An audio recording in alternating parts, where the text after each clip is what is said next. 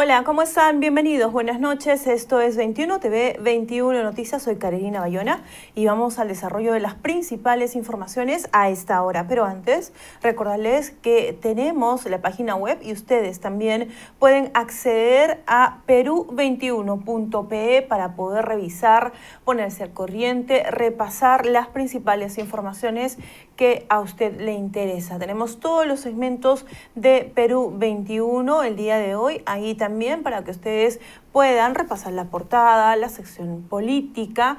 Tienen también eh, los videos, las entrevistas, ¿sí?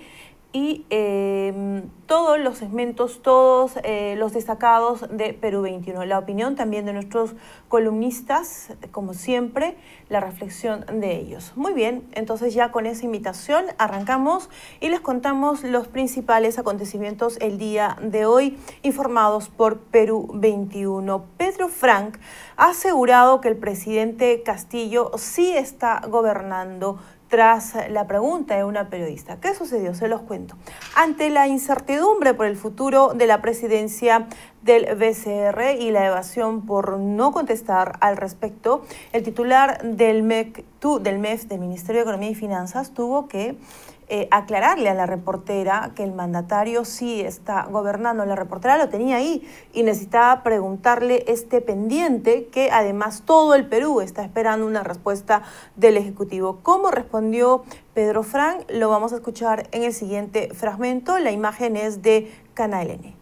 Escosos minutos, ministro. Solamente una final. No se ha hablado sobre la interpelación al ministro de Trabajo este 30 de septiembre y hay fecha y hora para ello. Como les digo, estamos en la agenda internacional, señorita. No estamos pensando en ese tipo de temas ahora. Pero no dejan de ser importantes, ¿no? Sobre todo porque estamos hablando de las políticas del gobierno. No dejan de ser importantes, pero ahorita la agenda internacional nos demanda toda nuestra atención. ¿Está gobernando el presidente Pedro Castillo?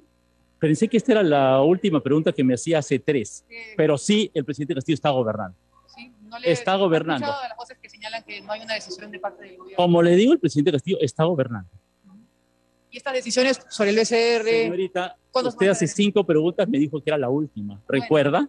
No sé si a usted le parece que deberíamos cumplir nuestra palabra cuando tenemos este tipo de referencias. El presidente Castillo está gobernando, tenemos una agenda internacional importante, nos vamos a reunir con organismos internacionales, con empresarios nacionales e internacionales. Yo voy a hablar con inversionistas de todo el mundo para que vengan al Perú y estamos convencidos que con esta política económica vamos a lograr que el Perú crezca sostenidamente en los próximos años y generar empleo, que es lo que queremos para todos los peruanos. Disculpe, es que no hay oportunidad así de hablar con los, con los ministros de Estado. Lamentablemente no hay la apertura y quisiéramos hacerles preguntas al presidente de la República. No se moleste, ministro. Muchas gracias por... No, no me moleste, para No, no me moleste, señor. No, muchas gracias, ¿no? Solo que siempre me parece que cuando uno dice la última pregunta, yo siempre pienso que es la última.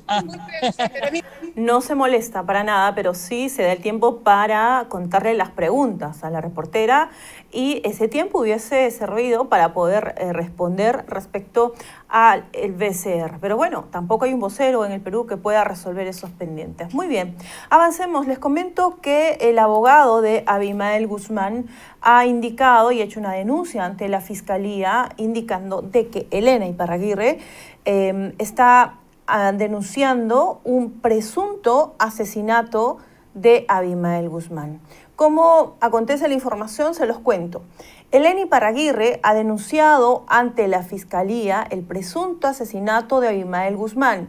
El letrado solicita además a la fiscal de la Nación que su patrocinada pueda realizar el reconocimiento del cadáver del cabecilla de Sendero Luminoso. Esto en una carta dirigida a la fiscal de la Nación, Zoraida Ábalos, ayer 18 de septiembre. El letrado Sebastián Chávez y Fuentes, quien es abogado de la condenada por terrorismo Elena Iparraguirre, le informa que ha presentado una denuncia penal contra los que resulten responsables por el presunto delito de asesinato cometido contra su esposo y también terrorista Abimael Guzmán. En la misiva indica que adjunta la denuncia manuscrita de su patrocinada con fecha 11 de septiembre. Además, el letrado está solicitando que su patrocinada, Elena Iparraguirre, pueda realizar el reconocimiento del cadáver y este sea entregado a quien ella ha designado ante la tercera Fiscalía Provincial del Callao para darle una sepultura digna conforme sus creencias. Esta información usted la puede ver a detalle también el día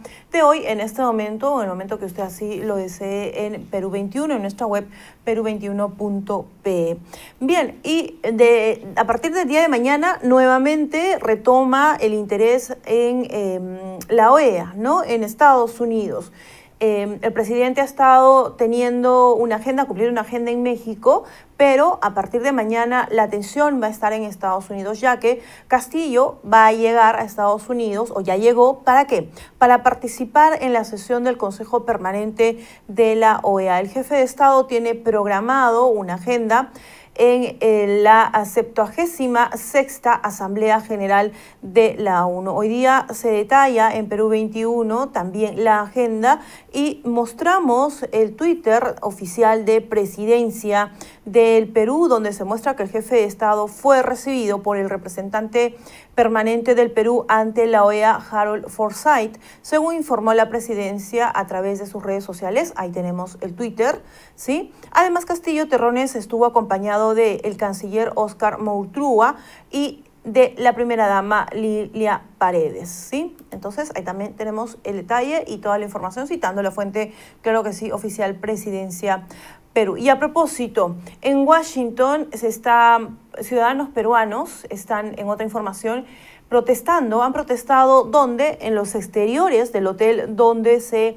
alojará Pedro Castillo. Esto en Washington son decenas de peruanos que se concentraron en las inmediaciones del hotel para expresar su descontento contra el mandatario. ¿Qué exclamaron? Fuera, comunismo. Les damos más detalle de la información. Bueno, fueron varios los peruanos que llegaron hasta inmediaciones del hotel de Washington en Estados Unidos para expresar este rechazo al gobierno de Pedro Castillo, quien se encuentra de gira participando en actividades oficiales con otros jefes de Estado. ¿Cómo estaban vestidos los peruanos? Vestidos con camisetas de la selección peruana de fútbol, portaban banderas y pancartas mostrando su descontento. Esto previo a la llegada del mandatario junto a su comitiva, que estaba prevista para hoy, domingo 19, a las 5 con 15 de la tarde. También mostramos ahí las fuentes donde eh, ustedes pueden pueden revisar lo que indicaban los peruanos, se los contamos, las frases que daban en las protestas en exteriores del hotel eran fuera comunismo, fuera Pedro Castillo. Estas fueron algunas de las frases expresadas por los ciudadanos. Además, a ese lugar también llegó otro grupo que hacía todo lo contrario, manifestaba su apoyo al mandatario de la nación. Pronto también se va a ver el caso de eh, el congresista Bermejo. Em, eh, nuevamente se va a retomar las audiencias.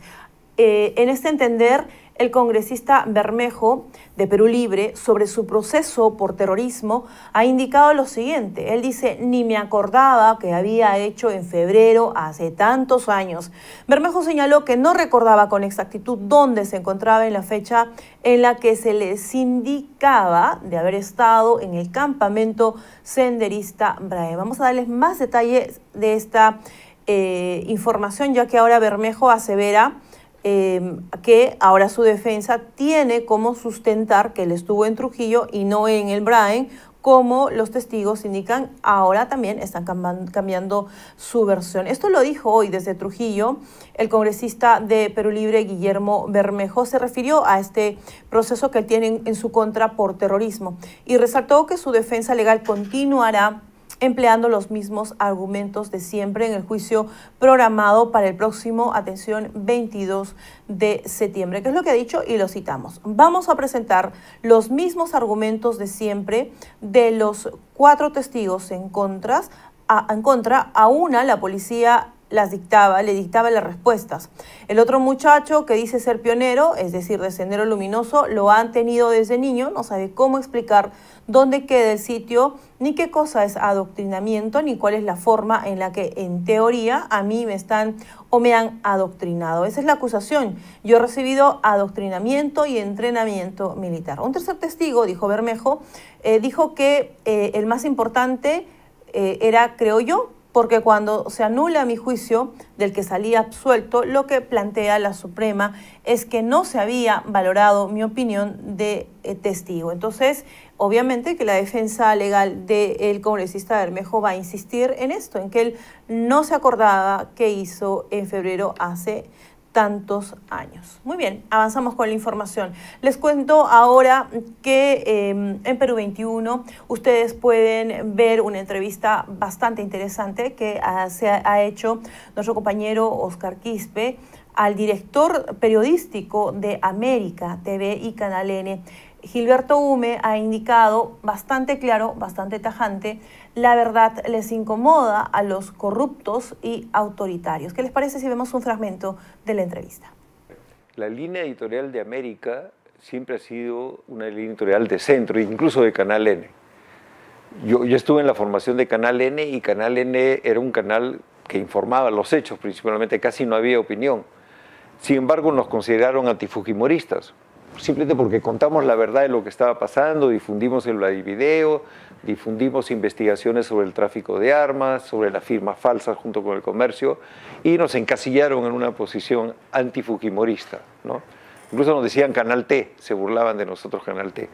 Entonces, cuando yo llego a América, el problema es que el canal esté identificado con una línea de izquierda, hasta el punto que cuando agreden, por ejemplo, a Stephanie Medina y yo hago una advertencia, a nombre del canal al candidato Castillo diciéndole si usted vuelve a agredir a nuestro periodista dejamos de cubrir, se armó una tremenda discusión en el canal. No, no ¿cómo puedes hacer eso? Pero le ¿cómo puedo hacer eso? Tengo que defender la, la, integridad de mis periodistas. Entonces tomo partido frente a un candidato, evidentemente, pero el problema es, y eso se vio como un apoyo a Keiko Fujimori. O sea, el llevar el canal al centro fue considerado apoyo a Fujimori, porque al ubicarte en el centro tenías que criticar también a Castillo. Y ese era el problema del canal, que no se criticaba a Castillo, como no se criticó al gobierno de Vizcarra, ni al gobierno de Ollantumala. Entonces, ubicar al canal en el centro ha tenido ese costo, que nos digan, ah, se volvieron de derecha. Pero lo dicen la gente de izquierda que estaba contento con esa línea. Bien, la lucha por la libertad de expresión de todos los medios independientes, no solo de América y Canal N, va a ser dura, según palabras de UME, entrevistado además por nuestro compañero Oscar Quispe. Recomiendo la entrevista. Ustedes pueden buscarla, encontrarla también en la web perú21.p. Muy bien, y Mayra Calderón ha hecho un informe respecto a la situación de Sedapal. Lamentablemente, vecinos de San Juan del Urgancho llevan tres semanas sin agua potable por rotura de tuberías. No es la primera vez, pero al parecer nadie da solución al real problema. Es momento de la privatización, se pregunta eh, Mayra Calderón, ahora que Sedapal, la empresa estatal, no responde por su incapacidad. También les invitamos a ver un fragmento de este informe.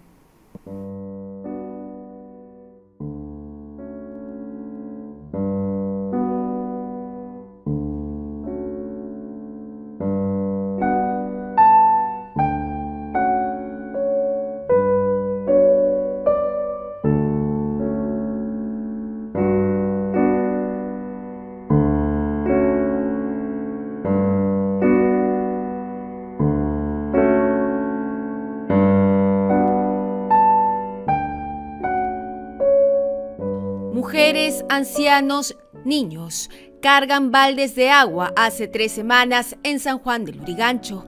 Una enorme tubería de desagüe se rompió y nadie les da solución a su problema.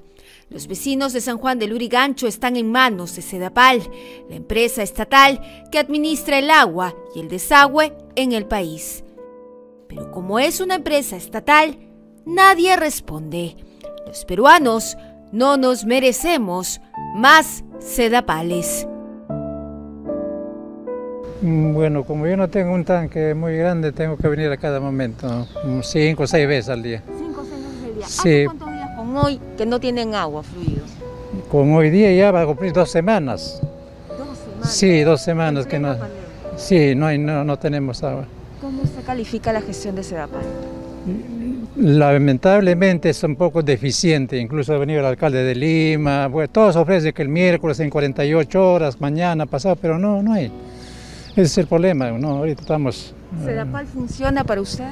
No, señorita, acá no, mira, acá justamente hace dos años hubo un aniego acá, pero pasaron más de dos años y no hay solución. a consecuencia de eso, mira, todo el transporte, todos derivan por acá, yo vivo en la esquina, me malogra toda la esquina, es un problema. El polvo, toda esta cosa. Yo soy asmático incluso. ¿Cuántos años tiene usted? 75 años. En San Juan del Lurigancho viven alrededor de un millón de peruanos y en plena pandemia todos ellos ven aumentar el riesgo de contaminarse. Cada familia tiene que llevar agua potable a su casa. La empresa les ha cortado el suministro mientras realiza las reparaciones y esta situación se repite por lo menos cada dos años. Somos, personas mayores y cargando agua, imagínense. ¿Cuántos años tiene usted? 7-2. 72 años. Sí, ¿Cuántas familias tiene? ¿Cuántos son en casa? somos cuatro. Cuatro en casa. Ujú. ¿Niños? ¿Hay niños de por medio? Sí, tengo nietos. Bien. Ajá. En plena pandemia, para esto, Imagínese usted, estamos usted, estamos ah, con la justa. ¿usted sufre de alguna enfermedad, señor? No, felizmente no. Pero sí Ninguna. es, sí, es, sí es pesado para ustedes estar todo el tiempo. Imagínese ¿Cuántos días cargar. van en este- Yo ya una semana, ya más de una semana. ¿Cómo sí. califica usted la gestión de Sedapal? Horrible. Está horrible y hasta ahora no terminan ese, ese puente, ese, ¿cómo se llama? El desagüe que está debajo del tren. ¿Les cobran? Sí, todos los meses, Como si no hubiera habido problema. como si no hubiera problema. ¿Para usted funciona Sedapal? No, no funciona. ¿Qué No funciona. hacer con? Cambiar la directiva o hacer al el presidente que le haga un cambio total, pues, porque no hacen bien las cosas. Los vecinos sienten una gran indiferencia de parte de las autoridades, sobre todo de la empresa estatal Sedapal, que no sabe gestionar de manera eficiente la crisis.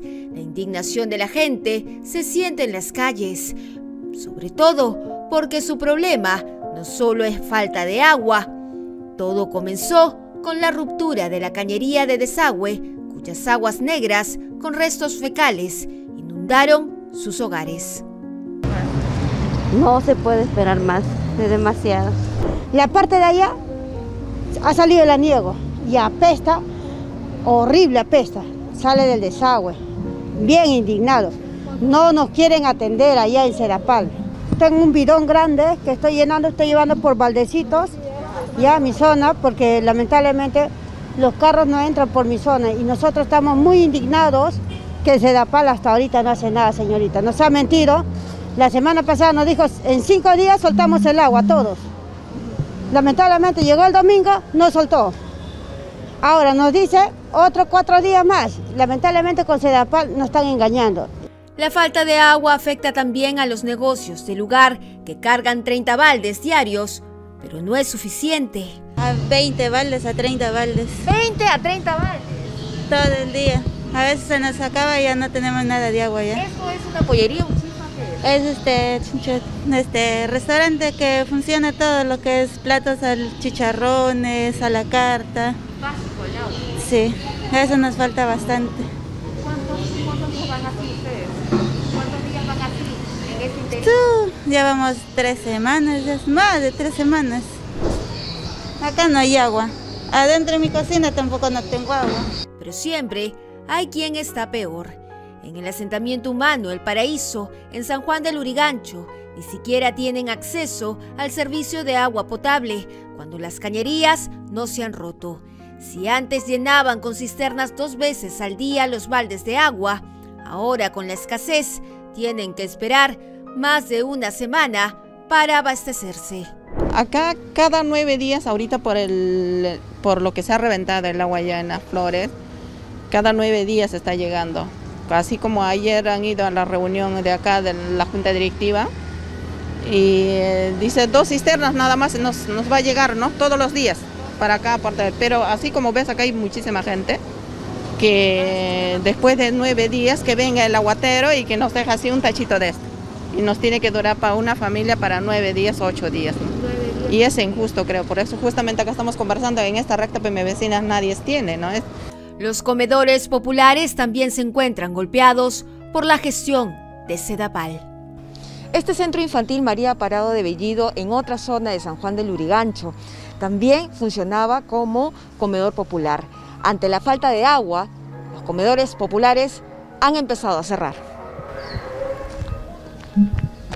Para el exministro de Vivienda, Rudecindo Vega, Sedapal como empresa tiene graves problemas de gestión debido a la burocracia estatal. Es que te diga otro problema grave de gestión, pues te lo digo.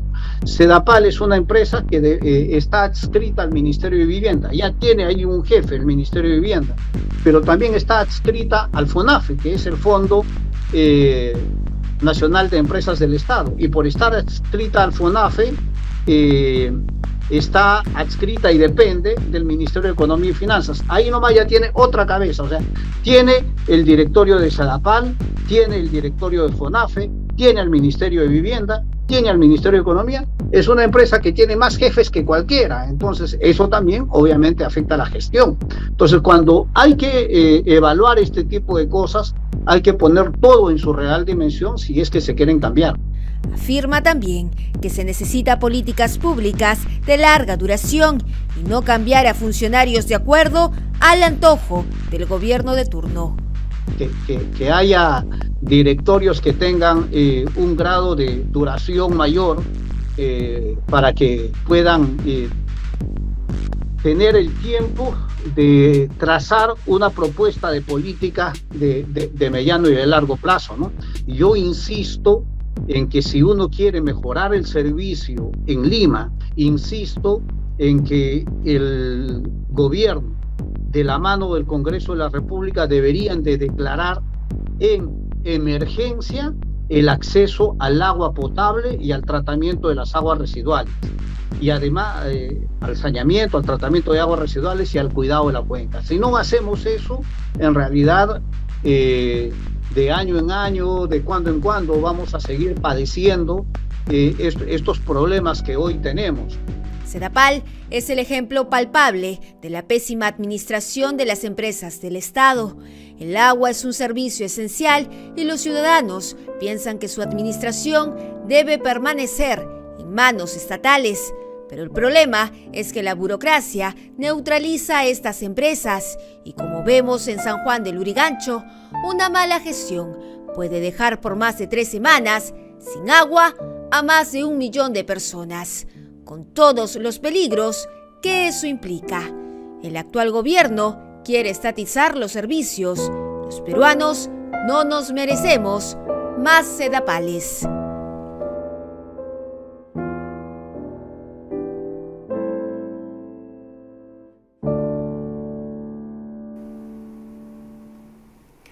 Pésimo servicio, em, pésima gestión. Y quien está a cargo de la gestión de CEDAPAL es el Ejecutivo Nacional. Hace poco Castillo, el presidente Castillo, ha llevado a México a la CELAC el saludo de los hermanos quechuas y aymaras. También San Juan del Urigancho son peruanos y requieren que los ministros, requieren que el Ejecutivo, requieren que Pedro Castillo gobierne.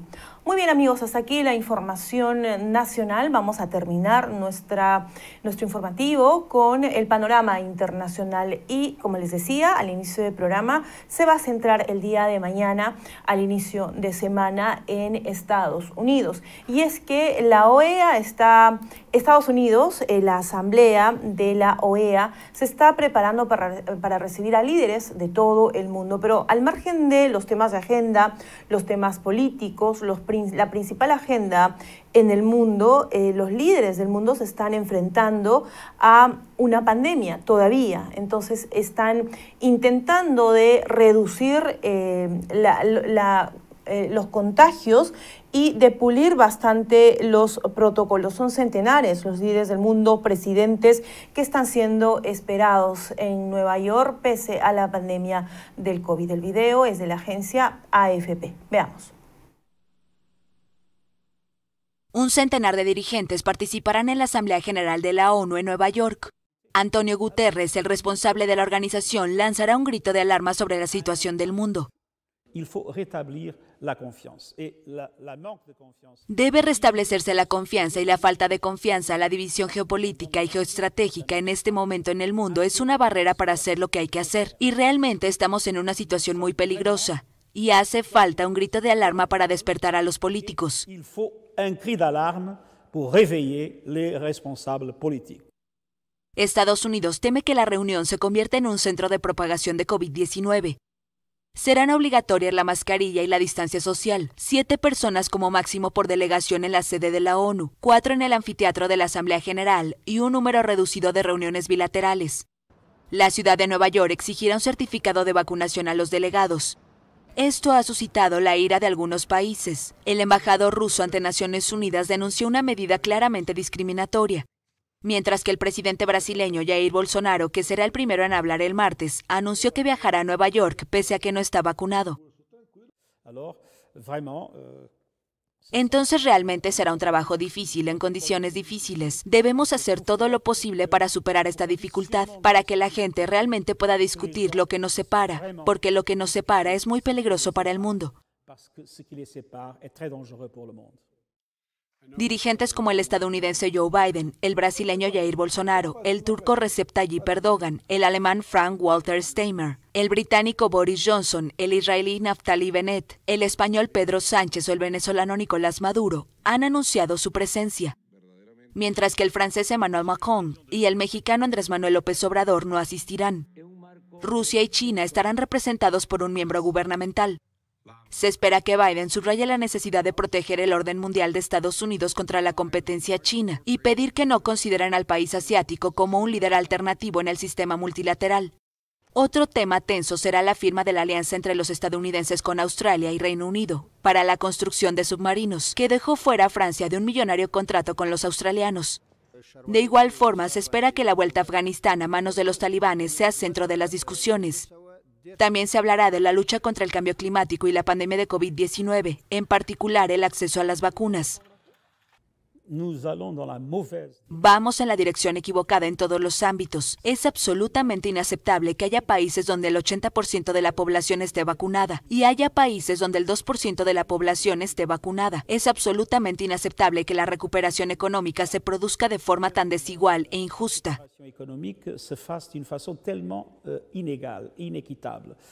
Guterres señala que la recuperación económica desigual crea una división entre el norte y el sur, que aparece ya en la lucha climática. Bueno, más que nunca los sentidos, el sentido y el propósito de la OEA es muy importante y nosotros vamos a pedir su atención mañana a primera hora. Por hoy cerramos esta edición y cerramos la semana. Muchísimas gracias a ustedes, nos despedimos, pero antes les recordamos que tienen la web peru21.pe para poder repasar toda la información, los videos, nuestra portada, la entrevista, los segmentos de política, los segmentos además de economía, también pueden leer con toda calma eh, la reflexión y el de nuestros columnistas, como todos los días, y bueno, darse el tiempo que ustedes deseen para poder repasar y ponerse al día con la información que obviamente les interesa. Bien amigos, muchísimas gracias. Nos vemos hasta el día de mañana. Permiso.